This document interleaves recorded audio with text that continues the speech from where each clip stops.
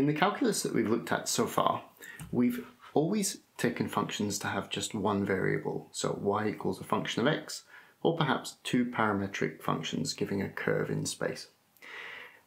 In reality, we actually need to use functions of several variables. Most things don't depend on just one variable.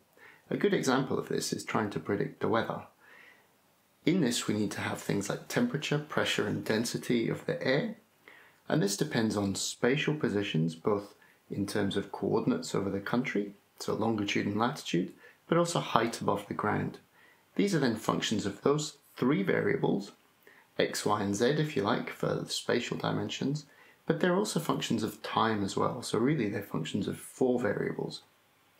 We need to study calculus with functions of multidimensional variables. To begin with, let's look at functions of two variables and see how to visualize these.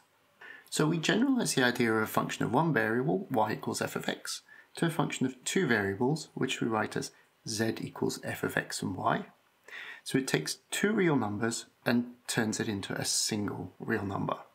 Or in math speak, we say f maps r2 onto the real line r. In general, one could think of a function of as many variables as you like, but we'll concentrate on two for just now. So these could be as simple as just z equals x squared plus y, or sine of x times y. So in the latter example, we would take two numbers x and y, multiply them together, take the sine of that, and that produces a single number z. If we take something like a sphere with a density rho, then that will have a mass, which is the volume times the density.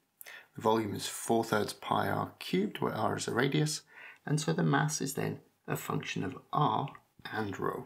In order to visualize functions, one needs to really ideally do them on a computer, but one can look at things like level surfaces, where one takes a slice through the function.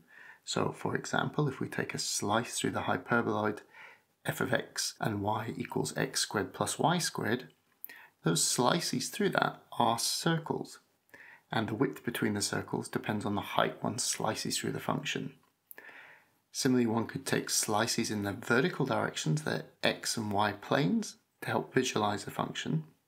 For functions of two variables, well, it's just as easy to plot them on a computer and have a look at them. For functions of three variables or more, these the idea of level curves and level surfaces are actually much more important to visualize them.